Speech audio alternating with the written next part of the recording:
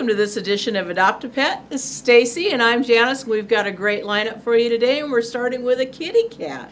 Or, Who's very excited thanks, because we had a dog in here earlier to How beautiful. get Mina all excited. Oh, you got her purring. Yeah, You got her purring. she purrs pretty easily. We just named her Mina, by Oh. the way. We had some customers come in and we couldn't figure out a name, so we had them name her for us.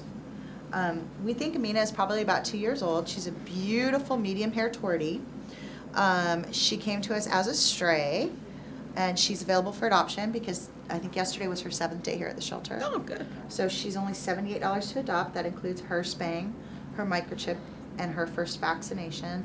And she, you can tell that someone really loved her. I mean, she's been handled a lot, and she's very sweet and likes people. And she's a big purr, huh? Oh, look at her beautiful green eyes. Look at. Hi. Hi. We have lots of adult cats right now available for adoption, just as beautiful as Mina. Almost just as beautiful as Mina. And well, it's really important that we get our adult cats homes too. You know, I mean, if people wait for the kittens to come, but you know, our adult cats need homes too. They do. They're just They as do. sweet and lovable and in need of a place to curl up. Is hey, you match my uniform. Well, there you Match my go. Uniform. I just have to hold you all day long, huh? You're such a She says that's works girl. for me. Such a good girl. But that seventy-eight dollars adoption fee is, is just a really good deal, uh, all the way around for the spaying and the microchip and the first vaccination. It's, it's quite a deal. And, uh, yeah, we're not in it for the money. We're just, we're in it to find animals like Mina a home. Yeah, good. Again, try to keep them healthy and Yeah. She's a good it's very sweet. She's settled in. She says I'm good. Good. All right. Come on, baby. She says no know, wait, I we settled in. Aw. she says I'll bet this means you're going to bring that big white dog back in here now. I know, huh? We're gonna get Mina secure before we uh, bring out Penelope. Okay. Oh, she, did, did you hear? her? I said her name and she started crying. Come on Penelope, in. you're on, girl. Come on. Hi, sweetheart. Hello, love. Hello, love. Oh. Hi. I actually don't know if we've shown Penelope before. I love the spot right above Yeah. the tail. Yeah. I know it's so pretty. I know, I know. So we're thinking that Penelope is got a little bit of uh, Dalmatian in her. She's got a little bit of pit. She's got a little bit of lab. Um, she's a puppy. She's only ten months old, and uh, she's very, very energetic and very sweet, very affectionate and loving dog.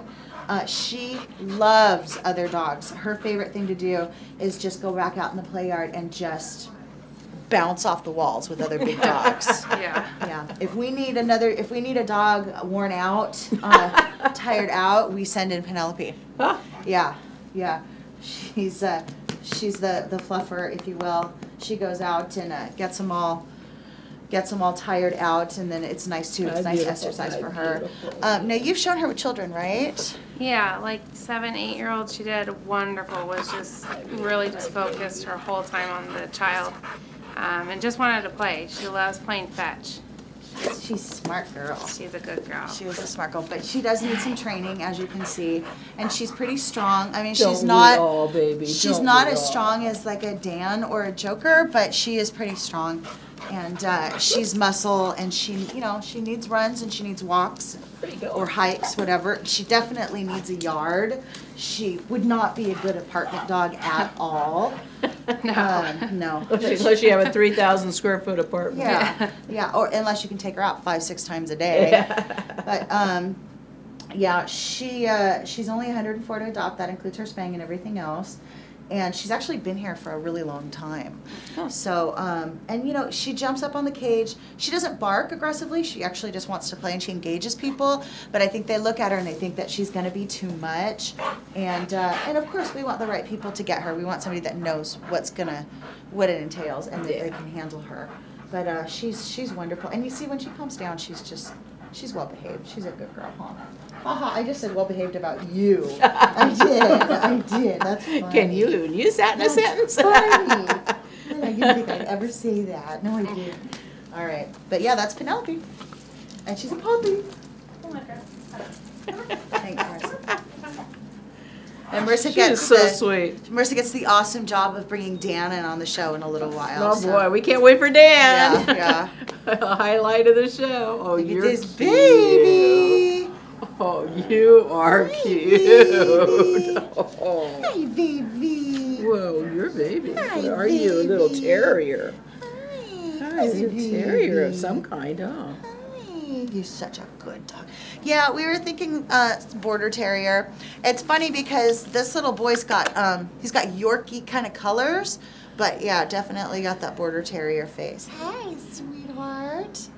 Um, this little dog is available uh, this coming Saturday, and uh, is only about eight weeks old. It's a little boy. Aw. We named him Harley, and the reason why we named him Harley is the gentleman that found him uh, brought him in on his motorcycle. But that was fun. Wow. So uh, yeah, brought him in on his motorcycle, so we named him Harley. I know it's a cliche, but yeah, it is what it is. We could have named him Kawasaki or Honda, or but it just happened to be Harley, so that's You're his name. sweet. Yeah. You are sweet. But uh, yeah, this Saturday, and uh, dog will only be ninety-eight dollars. Not four months old yet, so not old enough for a rabies vaccination. So of course we wouldn't charge you for one of those. So ninety-eight dollars. That includes his neutering, his puppy shots, and his microchip. Oh, he is as cute as cute gets. He He's not really, going to really be very is. big. He's just so cute. You're just so cute. But um, came in and was obviously a little bit scared because the way he got here and everything. And it took, yeah, and it took. It was funny because he's so little, uh, but he was very um, kind of growly and scared. And we were like, "Really, you're not supposed to be like this. You're really young." But it took him about a day to come out of it and realize that we weren't here to hurt him. And then he was like, "Okay, I'm out of my shell." So yeah, he's raring to go. He's a he's a sweet little dog. He just needs to be socialized and uh, with kids and other dogs right off the bat. It's really important to do this young. So But he's very cute. yeah. And he could be yours. He could be yours on Saturday morning at 10 o'clock. There you go. Hi, baby. Thanks, David. All right. Thank you. He is very cute. He's really cute. There's another little girl in the cage with him, too, that um, she didn't come in with him, but they, she's actually half his size. Oh, really? Yeah. Oh, wow. Same kind of dog? Oh, my goodness. up. Look at you. Okay. Hi, Libby. Hi, Libby. Hi, baby.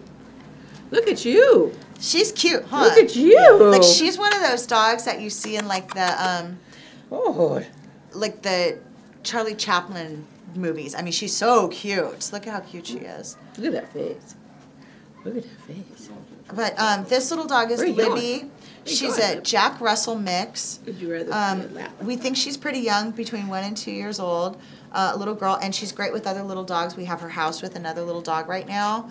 Um, uh, she's not high strung, but a little hyper. So just keep in mind that she is a Jack Russell mix and some kind, maybe border terrier. I don't know, but she's got those terriers in here. So keep in mind, Oh, just they gotta have because something to do. yeah, and just because she's small doesn't mean that she's going to be okay put into an apartment situation. She's got to have a job to do. She's got to have some training. uh, She's got to not be bored because anything that's mixed with the Jack Russell, it'll be nightmare if they're bored. You leave them home for work, you know, nine, ten hours, and she's got nothing to do.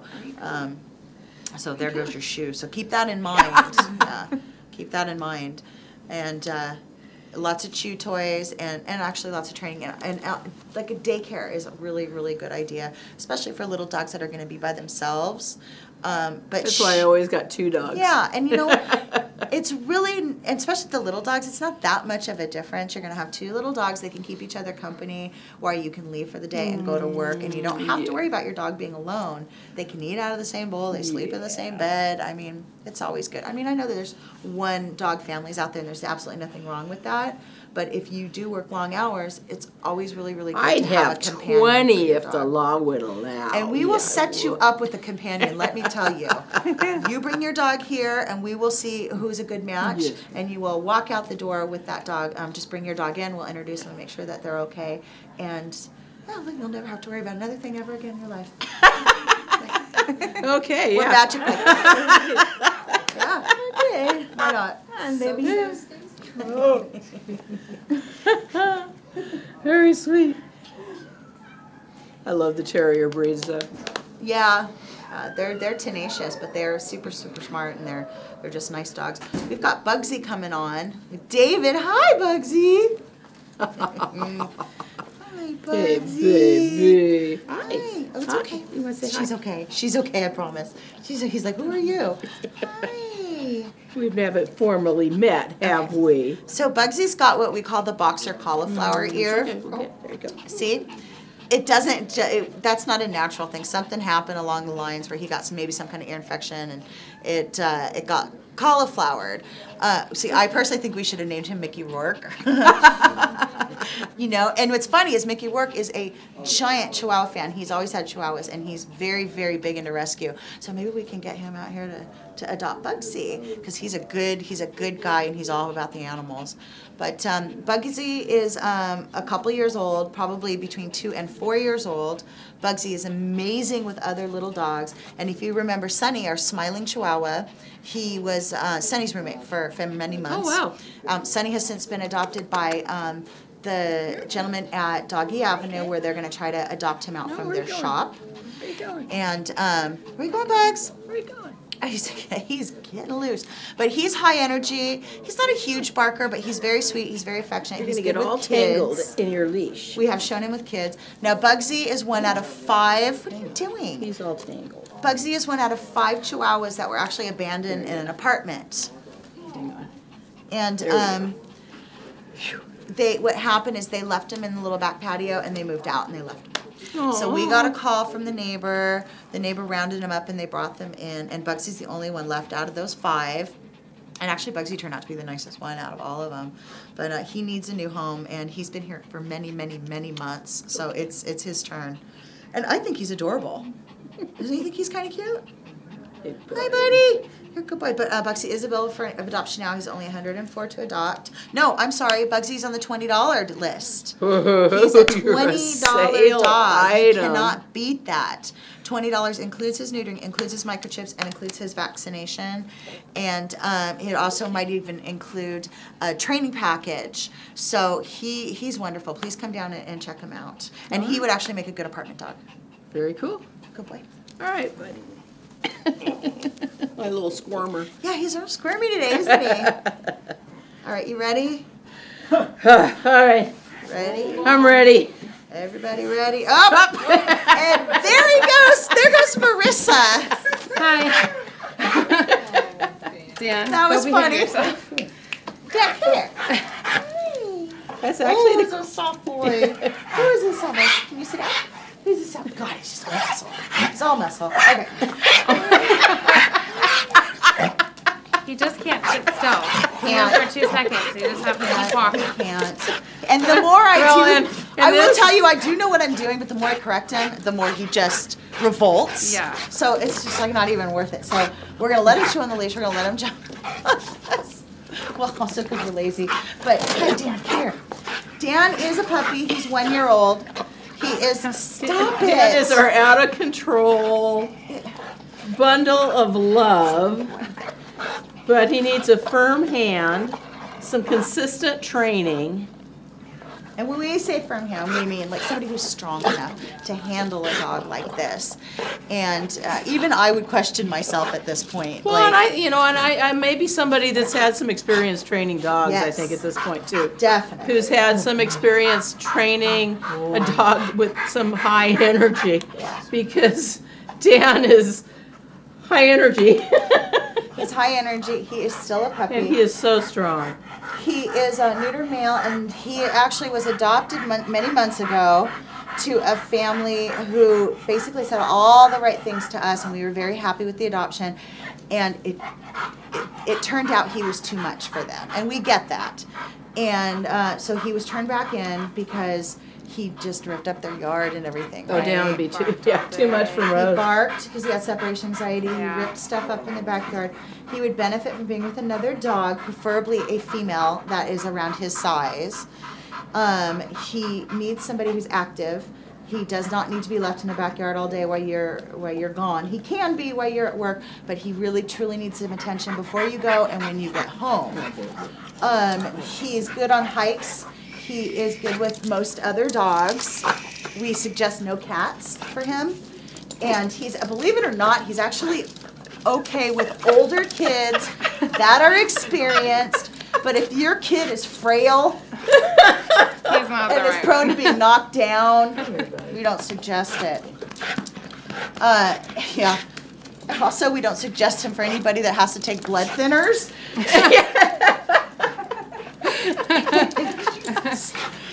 Stupid dog. I love you, but stop it. Okay, so Dan, again, he's a twenty dollar dog. Gee, I wonder why. He's a twenty dollar dog. Available for adoption now. Please come down and meet him. I know we're gonna find the right the right people for him. The right person's out there. Because he is a love. He's lab, Sharpei, maybe a little bit of pit. He's he's a sweet dog. And let me just add to when I was coming in, waiting, just standing still, trying to talk to a customer, he was doing this. But as soon as I just started walking and getting him out there, he was fine. He does not do this all the time. It's just when he's bored. Um, so he's just not a leash chewer unless he's bored. But if you hike him and walk him and say he's great. And that's the other thing you need to understand, you know, is these are shelter dogs. They spend a, a good percentage of the time in their pen here at the shelter. And this is such a treat for him to be outside of his pen, to be a dog, you know. So so he's exhibiting all of his fun dog stuff right for right for you on the show right now. But um but that's just how it is, you know. I mean, he he's not like this all the time. It's just he's so happy to be out and so happy to be with people and be the center of attention that he just wants to enjoy every moment of that right now. And Showing off a little bit. so he's just showing off. All right, Dan. But you can see he's not mean. He's not No, no. aggressive. He's Not not, any all. of those things. He's just playing. He's a lot to play with, though. so if you're looking for that kind of You're dog, embarrassing me. All right, take him, please. Okay. Oh, sure. I, I tried to get him unwrapped. I couldn't do it.